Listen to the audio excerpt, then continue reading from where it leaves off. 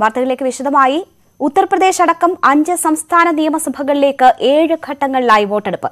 പഞ്ചാബ് ഗോവ ഉത്തരാഖണ്ഡ് എന്നിവിടങ്ങളിൽ ഒറ്റഘട്ടമായും മണിപ്പൂരിൽ രണ്ട് ഘട്ടമായും ഉത്തർപ്രദേശിൽ ഏഴ് ഘട്ടങ്ങളിലായും വോട്ടെടുപ്പ് നടക്കും.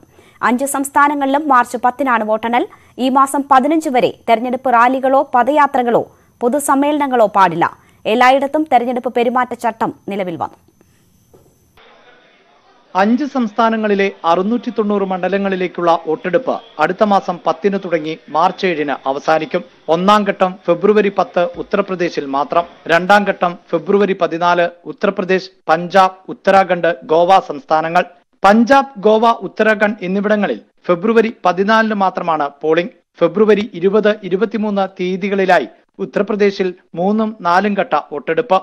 ഫെബ്രുവരി ഇരുപത്തിയേഴ് മാർച്ച് മൂന്ന് തീയതികളിൽ മണിപ്പൂരിനൊപ്പം ഉത്തർപ്രദേശിൽ അഞ്ച് ആറ് ഘട്ടം മാർച്ച് ഏഴിന് ഉത്തർപ്രദേശിൽ അവസാന ഘട്ട പോളിംഗ് അഞ്ചിടത്തും വോട്ടെണ്ണൽ മാർച്ച് പത്തിന് All the five states combined together will be completed in 7th. So on 7th March, all polling will be over and the date of counting is 10th March 2022, that is Thursday. അറുന്നൂറ്റി തൊണ്ണൂറ് സീറ്റുകളിലായി പതിനെട്ട് ദശാംശം മൂന്ന് നാല് കോടി വോട്ടർമാർ വിധി എഴുതും ഇതിൽ ഇരുപത്തിനാല് ദശാംശം ഒമ്പത് ലക്ഷം കന്നി വോട്ടർമാർ എട്ട് ദശാംശം അഞ്ച് അഞ്ച് കോടി വനിതാ വോട്ടർമാർ. പോളിംഗ് സ്റ്റേഷനുകളുടെ എണ്ണം പതിനാറ് ശതമാനം വർദ്ധിപ്പിച്ചു. രണ്ട് ലക്ഷത്തി പതിനയ്യായിരത്തി മുന്നൂറ്റി പതിനെട്ട് പോളിംഗ് സ്റ്റേഷനുകൾ. ഒരിടത്തും ആയിരത്തി ഇരുന്നൂറ്റി അമ്പതിലധികം വോട്ടർമാർ ഉണ്ടാകില്ല. കോവിഡ് പരിഗണിച്ച് വോട്ടെടുപ്പിന് ഒരു മണിക്കൂർ അധിക സമയം അനുവദിക്കും. നാമനിർദ്ദേശ പത്രികാ സമർപ്പണം ഈ മാസം പതിനഞ്ചിന് തുടങ്ങും. രണ്ടായിരത്തി പതിനേഴിനെ അപേക്ഷിച്ച് വേഗത്തിൽ പൂർത്തിയാകും വിധമാണ് തെരഞ്ഞെടുപ്പ് ക്രമീകരണം. അഞ്ച് സംസ്ഥാനങ്ങളിലും തെരഞ്ഞെടുപ്പ് പെരുമാറ്റച്ചട്ടം നിലവിൽ വന്നു. വോട്ടെണ്ണലിന് ശേഷമുള്ള ആഹ്ലാദ പ്രകടനങ്ങൾക്കും അനുമതിയില്ല. K P Abhilash news eighteen Delhi. Covid വ്യാപനത്തിനിടെ കർശന നിയന്ത്രണങ്ങളോടെയാണ് അഞ്ച് സംസ്ഥാനങ്ങളിലെ തെരഞ്ഞെടുപ്പ് നടത്തുക. റാലികൾക്കും പൊതുപരിപാടികൾക്കും പുറമെ ഭവന സന്ദർശനത്തിനും കർശന നിയന്ത്രണങ്ങളാണ് ഏർപ്പെടുത്തിയിട്ടുള്ളത്. പരമാവധി ഡിജിറ്റൽ പ്ലാറ്റ്ഫോമുകളെ പ്രയോജനപ്പെടുത്തണമെന്നും തെരഞ്ഞെടുപ്പ് കമ്മീഷൻ പറഞ്ഞു. കോവിഡ് വ്യാപനത്തിനിടെയുള്ള തെരഞ്ഞെടുപ്പ് വെല്ലുവിളിയാണെന്ന ആമുഖത്തോടെയാണ് മുഖ്യ തെരഞ്ഞെടുപ്പ് കമ്മീഷണർ സുശീൽ ചന്ദ്ര തീയതികൾ പ്രഖ്യാപിച്ചത് പൂർണമായും കോവിഡ് മാനദണ്ഡങ്ങൾ പാലിച്ചാകും തെരഞ്ഞെടുപ്പ് നടക്കുക ഒമിക്രോൺ സാഹചര്യത്തിൽ ആരോഗ്യ സുരക്ഷയ്ക്കായിരിക്കും പ്രധാന പരിഗണന വിപുലമായ കോവിഡ് മാർഗരേഖ ഇറക്കും We work with three broad objectives this time. And foremost is the COVID safe election. Second is hassle free, comfortable voting experience to the voters. And third, the maximum voter participation. ജനുവരി പതിനഞ്ച് വരെ പദയാത്രകളോ റാലികളോ പാടില്ല. പരമാവധി പ്രചാരണം digital പ്ലാറ്റ്ഫോമിലാകണം. Polling സ്റ്റേഷനുകളുടെ എണ്ണം പതിനാറ് ശതമാനം വർദ്ധിപ്പിച്ചിട്ടുണ്ട്. ഒരു പോളിംഗ് സ്റ്റേഷനിൽ പരമാവധി ആയിരത്തി ഇരുന്നൂറ്റി അമ്പത് വോട്ടർമാർ വോട്ട് രേഖപ്പെടുത്തും. ആയിരത്തി അറുന്നൂറ്റി ഇരുപത് പോളിംഗ് സ്റ്റേഷനുകളിൽ വനിതാ ജീവനക്കാർ മാത്രമാണ് ഉണ്ടാവുക.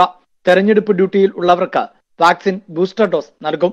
Directed the chief secretaries of all polling going states to accelerate the first and second dose of vaccination to all eligible citizens above 18 years. സ്ഥാനാർത്ഥികൾക്ക് ഓൺലൈനായി പത്രിക സമർപ്പിക്കാം. ഭവന സന്ദർശനത്തിന് അഞ്ചു പേരിൽ കൂടുതൽ പാടില്ല. വോട്ടെണ്ണലിന് ശേഷമുള്ള ആഹ്ലാദ പ്രകടനവും അനുവദിക്കില്ല. കോവിഡ് ബാധിതർക്ക് തപാൽ വോട്ടിനുള്ള സൗകര്യം ഏർപ്പെടുത്തും. എൺപത് വയസ്സ് കഴിഞ്ഞവർക്കും ഭിന്നശേഷിക്കാർക്കും തപാൽ വോട്ട് ചെയ്യാം. വോട്ടെടുപ്പ് സമയം ഒരു മണിക്കൂർ നീട്ടിയിട്ടുമുണ്ട്. News eighteen Delhi. ദേശീയ രാഷ്ട്രീയത്തിന്റെ ഗതി നിർണയിക്കുന്ന നിയമസഭാ തെരഞ്ഞെടുപ്പുകൾക്കാണ് രാജ്യം സാക്ഷ്യം വഹിക്കാൻ പോകുന്നത്. കർഷക സമരം കോവിഡ് തുടങ്ങി. ദേശീയ പ്രാധാന്യമുള്ള വിഷയങ്ങൾക്ക് പുറമെ പഞ്ചാബിലെയും ഉത്തരാഖണ്ഡിലെയും മുഖ്യമന്ത്രിമാരുടെ മാറ്റമടക്കം നിരവധി പ്രാദേശിക വിഷയങ്ങളും തെരഞ്ഞെടുപ്പിൽ ചർച്ചയാകും. രണ്ടാം തവണയും അധികാരത്തിലേറിയ നരേന്ദ്രമോദി സർക്കാരിന്റെ ജനപിന്തുണയളക്കുന്ന തെരഞ്ഞെടുപ്പ് കൂടിയാകും ഇത്. ഹിന്ദി ഹൃദയഭൂമിയായ ഉത്തർപ്രദേശ് അടക്കം അഞ്ച് സംസ്ഥാനങ്ങളിലെ വിധിയെഴുത്ത് ദേശീയ രാഷ്ട്രീയത്തിലും വലിയ പ്രതിഫലനങ്ങളാണ് സൃഷ്ടിക്കുക. നിയമസഭാ തെരഞ്ഞെടുപ്പ് നടക്കുന്ന അഞ്ച് സംസ്ഥാനങ്ങളിൽ നാലിലും ബി ജെ പി സഖ്യമാണ് അധികാരത്തിലുള്ളത്. യോഗി ആദിത്യനാഥ് ഭരണത്തെ ഉത്തർപ്രദേശിലെ ജനങ്ങൾ വീണ്ടും അംഗീകരിക്കുമോ എന്നാണ് രാഷ്ട്രീയ കേന്ദ്രങ്ങൾ ഉറ്റുനോക്കുന്നത്.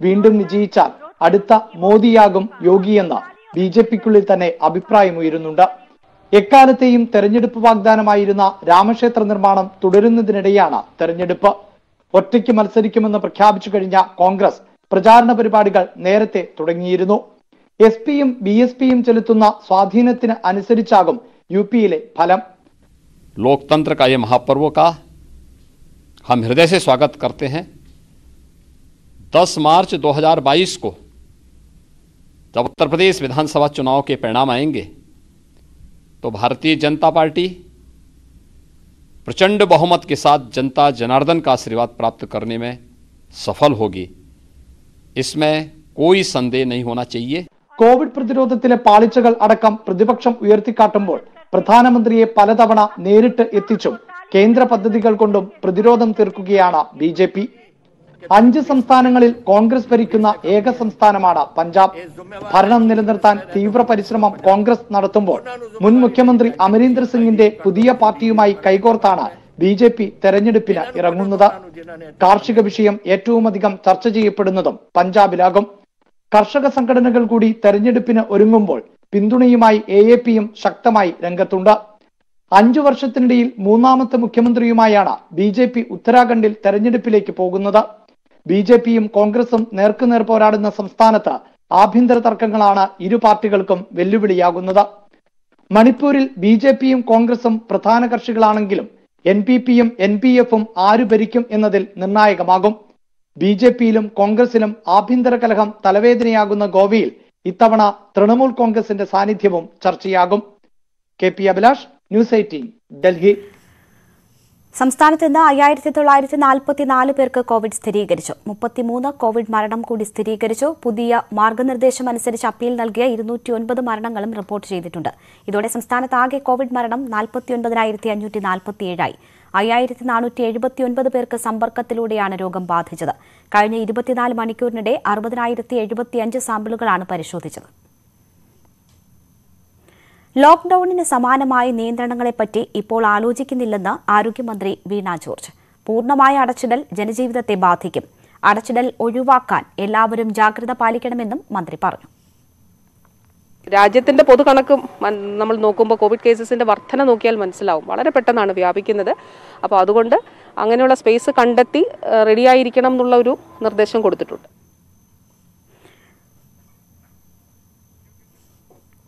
അതേസമയം വിദേശത്ത് നിന്നെത്തുന്ന മുഴുവൻ പേർക്കും ഏഴ് ദിവസം ക്വാറന്റീൻ എന്ന വ്യവസ്ഥ സംസ്ഥാനത്ത് പ്രാബല്യത്തിൽ വന്നു. ലോ റിസ്ക് രാജ്യങ്ങളിൽ നിന്ന് വരുന്നവരും ഏഴ് ദിവസം നിർബന്ധിത ക്വാറന്റീന് വിധേയരാകണം. R T P C R പരിശോധന നടത്തി നെഗറ്റീവ് ആയാലും ഏഴ് ദിവസം കൂടി സ്വയം നിരീക്ഷണത്തിൽ പോകണമെന്നും ആരോഗ്യവകുപ്പ് നിർദ്ദേശിച്ചു.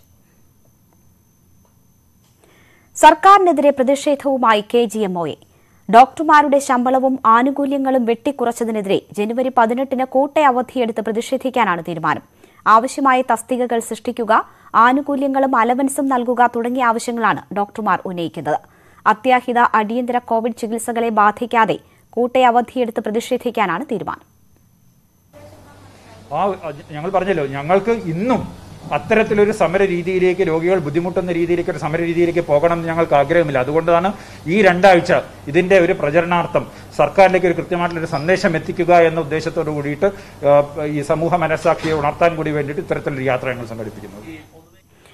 രാജ്യത്ത് കോവിഡ് മൂന്നാം തരംഗത്തിൽ പ്രതിദിന രോഗബാധിതരുടെ എണ്ണം ഒന്നര ലക്ഷത്തിലേക്ക്. ഒരു ദിവസത്തിനിടെ ഒരു ലക്ഷത്തി നാൽപ്പത്തി ഒന്നായിരത്തി തൊള്ളായിരത്തി എൺപത്തിയാറ് പേർക്ക് രോഗം ബാധിച്ചു. പ്രതിദിന രോഗബാധിതരുടെ എണ്ണത്തിൽ ഒരു ദിവസം കൊണ്ട് ഇരുപത്തിയൊന്ന് ശതമാനത്തിന്റെ വർധനയാണുണ്ടായത്. ഇരുപത്തിനാല് മണിക്കൂറിനിടെ ഇരുന്നൂറ്റി എൺപത്തിയഞ്ച് മരണവും സ്ഥിരീകരിച്ചു. തുടർച്ചയായി രണ്ടാം ദിവസമാണ് രോഗികളുടെ എണ്ണം ഒരു ലക്ഷത്തിന് മുകളിൽ എത്തിയത്. ടെസ്റ്റ് പോസിറ്റിവിറ്റി നിരക്ക് ഒൻപത് ശതമാനമായി ഉയർന്നു. നാല് ലക്ഷത്തി എഴുപത്തിരണ്ടായിരത്തി ഒരുന്നൂറ്റി അറുപത്തി ഒമ്പത് പേരാണ് നിലവിൽ ചികിത്സയിലുള്ളത്. കോവിഡ് രണ്ടാം തരംഗത്തിൽ ഏറ്റവും ഉയർന്ന പ്രതിദിന കണക്ക് നാല് ലക്ഷത്തി പതിനാലായിരത്തി ഒരുന്നൂറ്റി എൺപത്തിയെട്ട് ആയിരുന്നു. വ്യാപനം ഈ നിലയിൽ തുടർന്നാൽ പതിനൊന്ന് ദിവസത്തിനുള്ളിൽ ഏറ്റവും ഉയർന്ന പ്രതിദിന എണ്ണത്തിലേക്ക് എത്തുമെന്നാണ് ആരോഗ്യമേഖലയിലെ വിദഗ്ധരുടെ വിലയിരുത്തൽ. ഏറ്റവും കൂടുതൽ കോവിഡ് രോഗികളുള്ള മഹാരാഷ്ട്രയിൽ രോഗബാധിതരുടെ പ്രതിദിന എണ്ണം നാൽപ്പതിനായിരത്തി തൊള്ളായിരത്തി ഇരുപത്തിയഞ്ചായി. പതിനെണ്ണായിരത്തി ഇരുന്നൂറ്റി പതിമൂന്ന് പേർക്ക് പശ്ചിമ ബംഗാളിൽ രോഗം സ്ഥിരീകരിച്ചപ്പോൾ കൊൽക്കത്ത നഗരത്തിൽ മാത്രം ഇന്നലെ രോഗം സ്ഥിരീകരിച്ചവരുടെ എണ്ണം ഏഴായിരത്തി നാനൂറ്റി എൺപത്തിനാലായും ഉയർന്നു. രാജ്യത്ത് ഒമിക്രോൺ കേസുകളിലും വർധന രേഖപ്പെടുത്തി. അറുപത്തിനാല് പേർക്ക് കൂടി പുതിയ വകഭേദം സ്ഥിരീകരിച്ചതോടെ ആകെ ഒമിക്രോൺ രോഗികളുടെ എണ്ണം മൂവായിരത്തി എഴുപത്തൊന്നായും ഉയർന്നു. News eighteen Delhi. ആരോഗ്യവകുപ്പിലെ നിരവധി ഫയലുകൾ നഷ്ടപ്പെട്ടെന്ന് സ്ഥിരീകരിച്ച ആരോഗ്യമന്ത്രി വീണ ജോർജ്. നഷ്ടപ്പെട്ടത് ഏതൊക്കെ ഫയലുകളാണെന്നും എത്ര ഫയലുകളാണെന്നും അറിയില്ല. ആരോഗ്യവകുപ്പിന്റെ പരാതിയിൽ പോലീസ് അന്വേഷണം തുടങ്ങിയെങ്കിലും ഫയലുകൾ മോഷണം പോയതല്ലെന്ന നിഗമനത്തിലാണ് പോലീസ്. ഫയൽ കാണാതായ സംഭവത്തിൽ സമഗ്ര അന്വേഷണം വേണമെന്ന് പ്രതിപക്ഷം ആവശ്യപ്പെട്ടു. മരുന്ന് വാങ്ങൽ ഇടപാടുകളുടേതടക്കം അഞ്ഞൂറോളം ഫയലുകൾ ആരോഗ്യവകുപ്പിൽ നിന്നും കാണാതായെന്നാണ് റിപ്പോർട്ട്. ഇവയെല്ലാം പഴയ ഫയലുകളാണെന്നാണ് വകുപ്പിന്റെ നിഗമനം. കേരള മെഡിക്കൽ സർവീസസ് കോർപ്പറേഷൻ രൂപീകരിക്കുന്നതിന് മുൻപ് നടത്തിയ ഇടപാടുകളുടെ ഫയലുകളാണ് കാണാതായതെന്നും വകുപ്പ് വിശദീകരിക്കുന്നു. എന്നാൽ നഷ്ടപ്പെട്ടത് ഏത് ഫയലാണെന്ന് അറിയില്ലെന്നും വർഷങ്ങൾക്ക് മുൻപുള്ള ഫയലുകളാണ് കാണാതായതെന്നും ആരോഗ്യമന്ത്രി വ്യക്തമാക്കി. ഇപ്പോൾ നഷ്ടപ്പെട്ടു എന്നറിയില്ല. എങ്ങനെ നഷ്ടപ്പെട്ടു എന്നറിയില്ല. അപ്പോൾ ആ രീതിയിൽ പരിശോധന നടത്താൻ കഴിയുന്നത് പോലീസിനാണ്. അതുകൊണ്ടാണ് പോലീസിൽ പരാതി നൽകിയിട്ടുള്ളത്. അത് വർഷങ്ങൾക്ക് മുൻപുള്ള കുറേ ഫയലുകളാണ്. കന്റോൺമെന്റ് പോലീസിന് ഒരു മാസം മുൻപാണ് ആരോഗ്യവകുപ്പ് പരാതി നൽകിയത്. എന്നാൽ ഫയലുകൾ മോഷണം പോകാനുള്ള സാഹചര്യമില്ലെന്നാണ് പോലീസിന്റെ അനുമാനം. അതുകൊണ്ട് തന്നെ എഫ്ഐആർ ഇതുവരെ രജിസ്റ്റർ ചെയ്തിട്ടില്ല. ആരോഗ്യവകുപ്പിലെ ഫയൽ കാണാതാകുന്നത് ഗുരുതര സംഭവമാണെന്നും സമഗ്ര അന്വേഷണം വേണമെന്നും പ്രതിപക്ഷം ആവശ്യപ്പെട്ടു. ഒരാൾ മാത്രമാണ് അഴിമതി നടത്തിയത് എന്ന് വരുത്തി തീർക്കാൻ വേണ്ടിയിട്ടുള്ള ശ്രമമാണ് ഗവൺമെന്റ് നടത്തുന്നത്. രാഷ്ട്രീയ നേതൃത്വത്തിന്റെ അറിവോടുകൂടി നടന്ന ഈ അഴിമതിയെക്കുറിച്ച് വളരെ വിശദമായ സമഗ്രമായ അന്വേഷണം നടത്തണം. ഇല്ലെങ്കിൽ ശക്തമായ സമരപരിപാടികളുമായി ഞങ്ങൾ മുന്നോട്ട് പോകും. പർച്ചേസുമായി ബന്ധപ്പെട്ട് ധാരാളം അഴിമതികൾ ഉണ്ടായിട്ടുണ്ട് എന്നത് ഇന്ന് പുറത്തു വന്നുകൊണ്ടിരിക്കുന്ന ഒരു കാര്യമാണ്. അപ്പോൾ ഇതിനെ സംബന്ധിച്ച് സമഗ്രമായ ഒരു അന്വേഷണം ഉണ്ടാകണമെന്ന് ഞാൻ ആവശ്യപ്പെടുന്നു. സംഭവത്തിൽ ആരോഗ്യവകുപ്പിന്റെ ആഭ്യന്തര അന്വേഷണം ആരംഭിച്ചിട്ടുണ്ട്. നേരത്തെ കോവിഡ് കാലത്തെ ഇടപാടുകൾ സംബന്ധിച്ച ചില ഫയലുകൾ മെഡിക്കൽ സർവീസസ് കോർപ്പറേഷന്റെ കമ്പ്യൂട്ടറിൽ നിന്ന് ഡിലീറ്റ് ചെയ്തതായി കണ്ടെത്തിയിരുന്നു. News eighteen Thiruvananthapuram Pathanamthitta. Covid കാലത്ത് ആരോഗ്യവകുപ്പ് നടത്തിയത് തീവെട്ടിക്കൊള്ളയെന്ന കെ സുരേന്ദ്രൻ. ഉറക്കമൊഴിഞ്ഞ് ടീച്ചറമ്മ കൊള്ള നടത്തി. ഫയലുകളെല്ലാം മുക്കിയത് അഴിമതി പുറത്തുവരാതിരിക്കാനാണ് സംസ്ഥാന സർക്കാർ കൊള്ളക്കാരുടെ സർക്കാരായെന്നും കെ സുരേന്ദ്രൻ പറഞ്ഞു. വാർത്തകൾ തുടരുന്നു. രാഷ്ട്രപതി രാംനാഥ് കോവിന്ദിന് ഡീലിറ്റ് നൽകണമെന്ന ഗവർണറുടെ ശുപാർശ വി സി തള്ളിയത്. സിൻഡിക്കേറ്റിൽ ചർച്ച ചെയ്യാതെയായിരുന്നു എന്നതിന്റെ തെളിവ് പുറത്ത്. വെള്ളപ്പേപ്പറിൽ സ്വന്തം കൈപ്പടയിൽ വി സി മഹാദേവൻ പിള്ള എഴുതിയ കത്താണ് പുറത്തുവന്നത് ഈ കത്താണ് ഗവർണറെ ചൊടിപ്പിച്ചതും ചാൻസലർ സ്ഥാനം ഒഴിയുന്നു എന്ന് അറിയിച്ച് ഗവർണർ മുഖ്യമന്ത്രിക്ക് കത്തെഴുതാൻ ഇടയാക്കിയതും. ഡീലിറ്റ് ശുപാർശ ലഭിച്ചാൽ സിൻഡിക്കേറ്റ് ചർച്ച ചെയ്ത ശേഷം സെനറ്റിന്റെ അംഗീകാരത്തിന് അയക്കണം. ഡിലിറ്റ് നൽകേണ്ടത് സർവകലാശാല സെനറ്റാണ്. ഇതിനുശേഷം ഇക്കാര്യം വി സി ഔദ്യോഗികമായി ഗവർണറെ അറിയിക്കണമെന്നാണ് ചട്ടം. എന്നാൽ ഇവിടെ ഇതൊന്നും ഉണ്ടായില്ല. ഗവർണറുടെ ആവശ്യം സിൻഡിക്കേറ്റ് അംഗങ്ങളുമായി ചർച്ച ചെയ്തെന്നും അവർ നിരസിച്ചെന്നും വി സി സ്വന്തം കൈപ്പടയിൽ ഗവർണർക്ക് എഴുതി നൽകി. എന്റെ ആറ് ചോദ്യങ്ങൾക്കും വളരെ പ്രസക്തി ഉള്ളതാണ് എന്ന് തെളിഞ്ഞിരിക്കുന്നു. ഒരു സർവകലാശാലയുടെ വൈസ് ചാൻസലർ ഒരു കീറ്റക്കടലാസിലാണോ ഗവർണർക്ക് മറുപടി കൊടുക്കേണ്ടത്? ലെറ്റർപാഡ് ഇല്ലേ ട്രസ്റ്റ് ഇല്ലേ? എന്താണ് നടക്കുന്നത്? ഇ സി ചെയ്ത നടപടി ഒരിക്കലും അംഗീകരിക്കാൻ കഴിയുന്നതല്ല. ഇതിന്റെ പുറത്താണ് സർക്കാരിന്റെ സമ്മർദ്ദം ഉണ്ടായത് എന്ന് സംശയിക്കുന്നത്. ഇനിയും ഈ കാര്യത്തിൽ സർക്കാർ മറുപടി പറയാം. യോഗം വിളിച്ച് വിഷയം ചർച്ച ചെയ്യേണ്ട വി സി അതിന് തയ്യാറാകാത്തത് രാഷ്ട്രീയ ഇടപെടൽ കാരണമെന്ന് വ്യക്തം.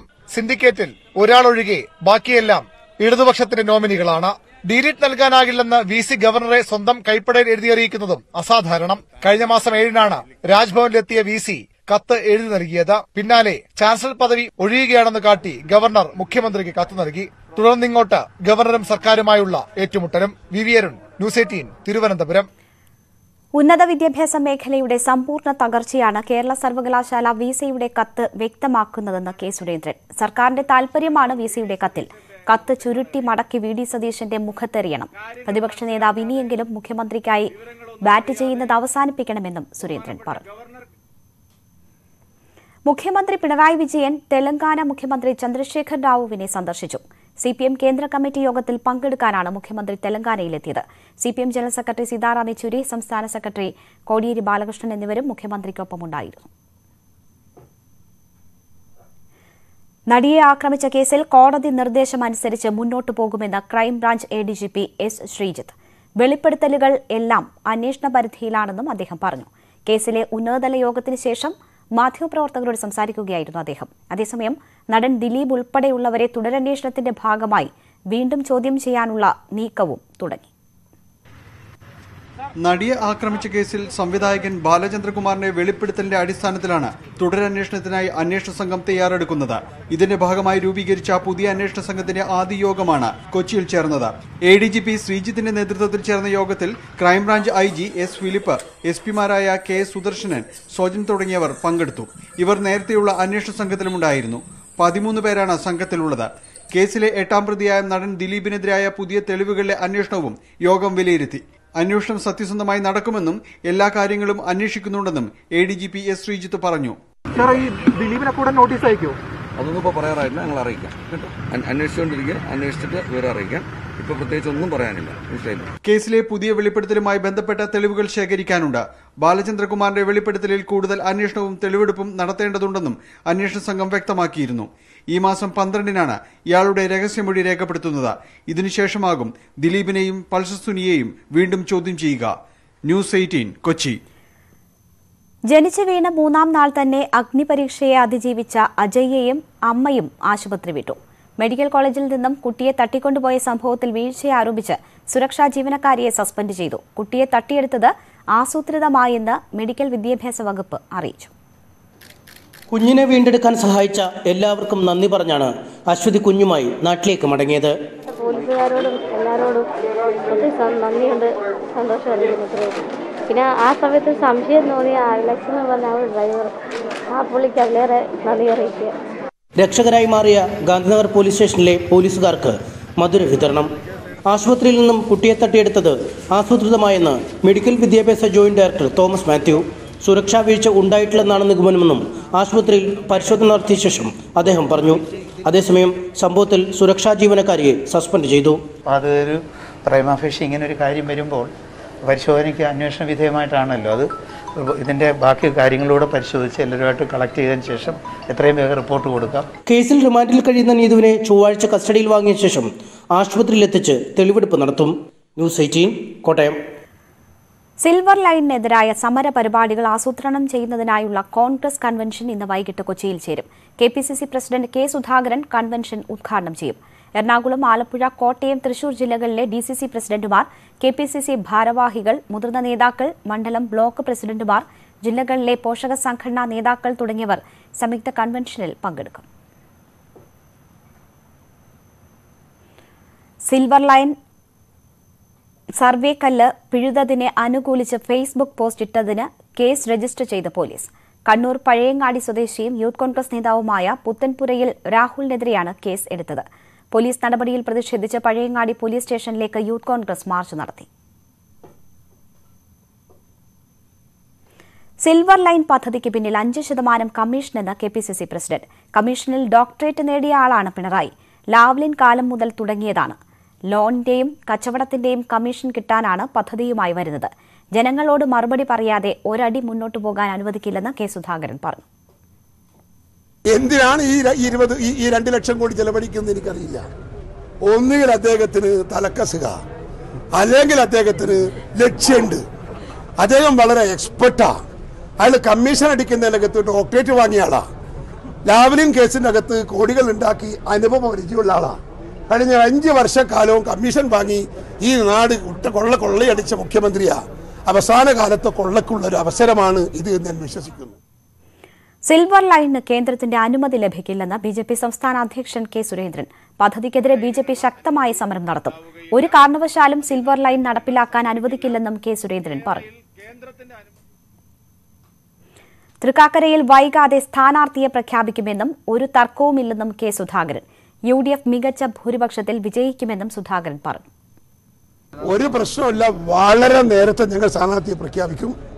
ഒരു പ്രശ്നവുമില്ലാതെ സ്ഥാനാർത്ഥി നിർണയം നടത്തും. ഒറ്റക്കെട്ടായി പണിയെടുക്കും. നല്ല ഭൂരിപക്ഷം ജയിപ്പിക്കും. അതേസമയം കോൺഗ്രസിൽ ചർച്ച തുടങ്ങിയിട്ടില്ലെന്നും സ്ഥാനാർത്ഥി പ്രചാരണം നടത്തുന്നവർക്കെതിരെ പാർട്ടി നടപടിയെടുക്കുമെന്നും വി ഡി സതീശൻ പറഞ്ഞു. എനിക്ക് എല്ലാ കോൺഗ്രസ് പ്രവർത്തകരോടും യു ഡി എഫ് പ്രവർത്തകരോടും പറയാനുള്ളത് ആവശ്യമില്ലാതെ ഒരു സ്ഥാനാർത്ഥിയുടെയും പേര് വെച്ചുകൊണ്ടുള്ള അനാവശ്യമായ പ്രചരണം നടത്തരുത്. അങ്ങനെ പ്രചരണം നടത്തിയ നടപടിയെടുക്കും. ഒന്നിനെ കുറിച്ച് നമ്മൾ ചർച്ച ചെയ്തിട്ടില്ല. ബ്ലാങ്ക് ആണെന്ന് പറഞ്ഞാൽ ബ്ലാങ്ക് ആണ് കൃത്യമായിട്ട് പറഞ്ഞാണ് ചർച്ച ആലോചിച്ചിട്ട് ആലോചിച്ചിട്ട് പോലുമില്ല. സ്കൂളുകളിൽ കുട്ടികളെ താലപ്പൊലിക്കായി ഉപയോഗിക്കരുതെന്ന് വിദ്യാഭ്യാസ മന്ത്രി V Sivankutty. K S T A Thiruvananthapuram ജില്ലാ സമ്മേളനത്തിലാണ് മന്ത്രി ഇക്കാര്യം പറഞ്ഞത്. നമ്മുടെ ക്ലാസ് ടൈമിൽ ഒരു വിദ്യാർത്ഥിയെ പോലും മറ്റു പരിപാടിയിൽ പങ്കെടുക്കുന്നതിന് വേണ്ടി പോകാൻ വേണ്ടി പാടില്ല എന്നുള്ള കാര്യം ഞാൻ നിർദ്ദേശം നൽകിയിട്ടുണ്ടെന്ന കാര്യം കൂടി ഞാൻ ഇവിടെ സൂചിപ്പിക്കാൻ വേണ്ടി ഞാൻ ആഗ്രഹിക്കുകയാണ്. നമ്മുടെ പല സ്ഥലങ്ങളിലും നമ്മൾ ചടങ്ങിനൊക്കെ ചെല്ലുമ്പോൾ കുട്ടികളെ താലപ്പലിയായിട്ട് കൊണ്ടു നിർത്താറുണ്ട് ഇനി മുതൽ അങ്ങനെ ഒരു ഒരു പരിപാടിയും നമുക്ക് സ്കൂളിൽ പങ്കെടുപ്പ് സംഘടിപ്പിക്കാൻ പാടില്ലാത്ത കാര്യം കൂടി ഞാൻ വ്യക്തമാക്കുവാൻ ഞാൻ ആഗ്രഹിക്കുകയാണ്. പോലീസിനും സർക്കാരിനുമെതിരെ രൂക്ഷ വിമർശനവുമായി സമസ്ത മുഖപത്രം സുപ്രഭാതം. കേരള പോലീസ് നടപ്പാക്കുന്നത് ആർ എസ് എസ് അജണ്ടയാണെന്ന് സുപ്രഭാതം മുഖപ്രസംഗത്തിൽ കുറ്റപ്പെടുത്തി. കോവിഡ് മാർഗരേഖ പാലിച്ചിട്ടും ന്യൂനപക്ഷ അവകാശ സമ്മേളനത്തിൽ സംസാരിച്ച നേതാക്കൾക്കെതിരെ കേസെടുത്തു. സി പി എം സമ്മേളനങ്ങൾക്ക് കോവിഡ് മാർഗരേഖ ബാധകമല്ലേ എന്നും സമസ്ത ചോദിക്കുന്നു. മലപ്പുറം വെണ്ണിയൂരിൽ ന്യൂനപക്ഷ അവകാശ സംരക്ഷണ സമ്മേളനത്തിൽ പങ്കെടുത്ത അബ്ദുസമദ് പൂക്കോട്ടൂർ ഉൾപ്പെടെയുള്ള നേതാക്കൾക്കെതിരെ കേസെടുത്തതാണ് സമസ്ത നേതൃത്വത്തെ പ്രകോപിപ്പിച്ചത്. എല്ലാ കോവിഡ് മാനദണ്ഡങ്ങളും പാലിച്ച് പോലീസ് അനുമതിയോടെ നടത്തിയ പരിപാടിയിൽ സംസാരിച്ചവർക്കെതിരെ കേസെടുക്കുന്നത് ആരുടെ നിർദ്ദേശപ്രകാരമാണെന്ന ചോദ്യമാണ് സമസ്ത ഉന്നയിക്കുന്നത്. സാമൂഹ്യ മാധ്യമങ്ങളിൽ മുസ്ലിം സമുദായത്തിൽ നിന്നുള്ളവർക്കെതിരെ വരുന്ന പരാമർശങ്ങളിൽ നടപടിയെടുക്കാൻ മടിക്കുന്ന പോലീസ് ആർ എസ് എസിനെ വിമർശിക്കുന്നവരെ അറസ്റ്റ് ചെയ്യുകയാണെന്നും മുഖപ്രസംഗത്തിൽ കുറ്റപ്പെടുത്തുന്നു. അബ്ദുസമദ് പൂക്കോട്ടൂരിനെതിരെ കേസെടുത്ത പോലീസ് സി പി എം സമ്മേളനങ്ങൾക്കും പ്രകടനങ്ങൾക്കുമെതിരെ നടപടിയെടുക്കുന്നില്ല ആഭ്യന്തര വകുപ്പിന്റെ അറിവോടെയാണോ ഇതെല്ലാം നടക്കുന്നതെന്നും മുഖപ്രസംഗത്തിൽ ചോദ്യമുണ്ട്. സി പി എം സമ്മേളനങ്ങളിൽ അടക്കം പോലീസിനെതിരെ വിമർശനം ഉയർന്നിട്ടും മുഖ്യമന്ത്രിക്ക് പോലീസിന്റെ ഇരട്ടത്താപ്പ് നിയന്ത്രിക്കാനാവുന്നില്ലെന്ന് സമസ്ത കുറ്റപ്പെടുത്തുന്നു. പോലീസിൽ അതിവേഗം ആർ എസ് എസ് അജണ്ടയാണ് നടപ്പാവുന്നതെന്ന വിമർശനവുമായാണ് മുഖപ്രസംഗം അവസാനിക്കുന്നത്. News eighteen Kozhikode. വാർത്തയിൽ ഇന്ന് പൂർണമാകുന്നു. നമസ്കാരം. കൂടുതൽ വാർത്തകൾക്കും വിശദാംശങ്ങൾക്കും Malayalam dot news eighteen dot com സന്ദർശിക്കുക.